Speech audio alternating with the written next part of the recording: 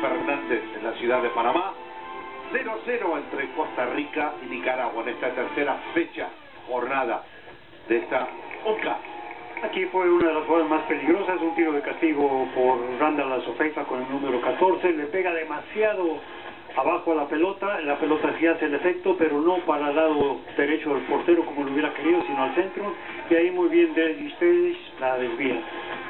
Aquí está el córner, ahí uno no lo alcanza, el segundo lo cargan y el nuevamente Johan Venegas, el número 11, que creo que es el que ha tenido más, las mayores oportunidades de estar, pero le hace falta un poquito más esa decisión, mira.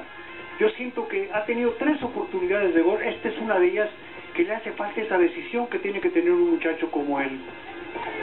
Aquí nuevamente la jugada la vas a ver, aquí es donde sale el portero y ahí no le veo que se lastime de alguna manera, pero después se tira, pero ahí nuevamente...